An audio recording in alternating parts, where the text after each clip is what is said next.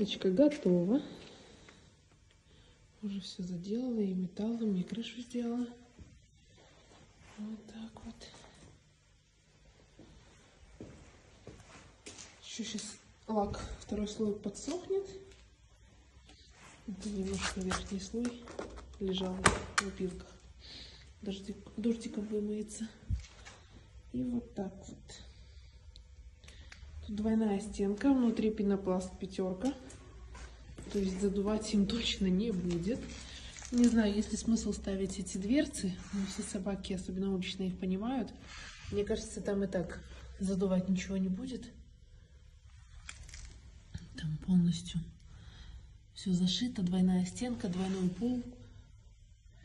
Пенопласт. Э, сверху утеплен, то есть по всему периметру утепленная.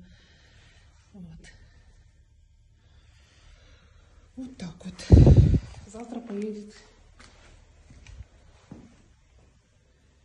к собачке.